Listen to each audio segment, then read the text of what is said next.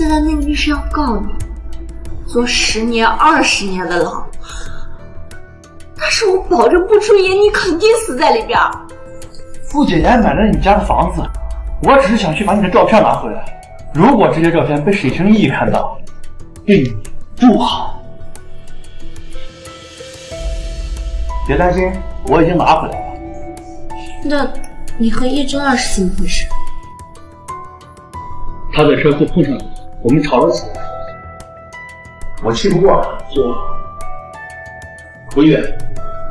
你也别管我，你也不要和沈星一翻脸。你们家的事儿还要指望他帮忙？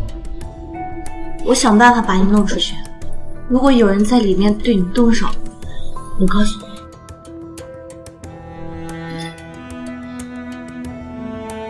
何月，你回来了。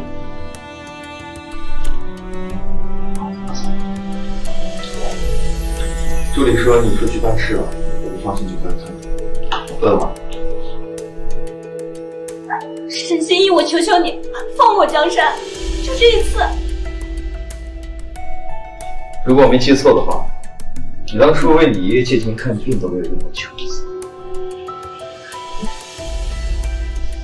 别哭了，德哥姐，在你未婚夫面前为另一个是我朋友，这件事我知道是他做，可是，可是二十年的牢啊！我保证，这次放过他之后，不会让他出现在叶小姐面前。运气好才是好的，运气不好就当成命。你觉得我会放过？有些话传出去不好听，新闻会怎么变？比如林大小姐坐过牢的混混朋友打伤了丈夫，旁人会怎么想？你怀疑是我让他去伤害叶芷儿？我知道你没那么无聊，我只是提醒你，这件事在别人眼里会是什么样子。别哭了，我不希望我的女人为了别的男人哭。再这样下去，我会心情不好。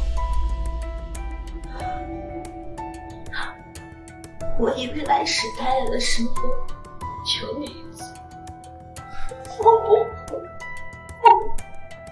你准备为了他跟我吵架？我哪敢跟你吵架呀？我们之间不就是一场交易？我想喜欢谁就喜欢谁。你想宠着谁就宠着谁，我哪有什么资格说话？嫁给我很不委屈。我现在已经没有东西能拿出来和你分道了，我求你放过，放过他不行吗？悠悠，除了我觉得你适合做沈太太之外，我还挺喜欢你。所以你应该知道什么叫适可而止。这件事我已经交给王律师去处理，我不会再管，你也不要再提，懂了吗？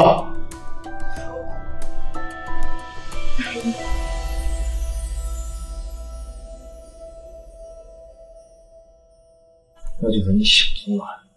怎么着？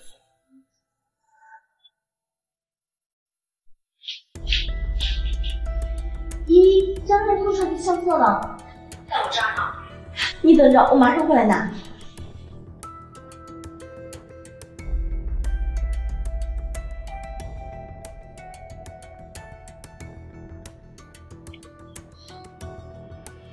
这些东西绝对不能让沈心怡看到，她要去的。是一个端庄优雅的千金大小姐，她要是看到这些，不知道该怎么收拾我。会的，咱们不是已经回来了吗？哎，你回家跟你妈说说就行。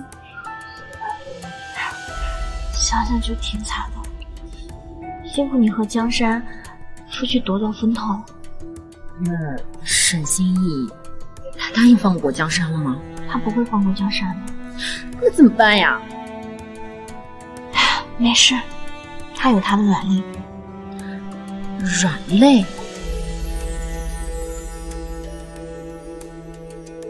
你为什么不直接去找沈心怡啊？你是当事人，而且他拒绝了我。而且男人只要碰到只手遮天的地位，总想在自己喜欢的女人面前展示一下实力。我跟他说我未必有用，你也知道，因为我反对你在一起，差点和他闹掰了。你到现在仍然觉得我跟他不合适？你当初是为了钱跟他在一起？好，你撤诉，放过我们，无悔婚，离开他。感情是他自己的，我说的再多，他是真的不理我。看下。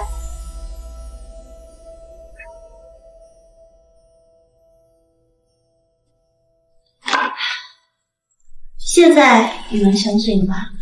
你撤诉，放过我朋友，我悔婚，放过你。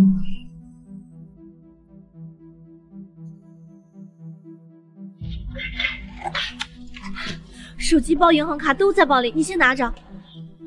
你和依依去别的地方等几天。辉宇，我没事儿。喂。我以为你不敢接，不敢不接。我还真是低估你了。你是怎么说服他撤诉？我给他说，只要他撤诉，我就跟你分手。对不起，沈先生，你昨天态度让我很失望，我不想嫁给你了。我们取消婚约，好不好？你甩了我，然后问我好不好？今天晚上我回去的时候，如果没在公寓看到你，好不自觉。我，还是说你想见识一下一个男人不择手段得到做出什么事？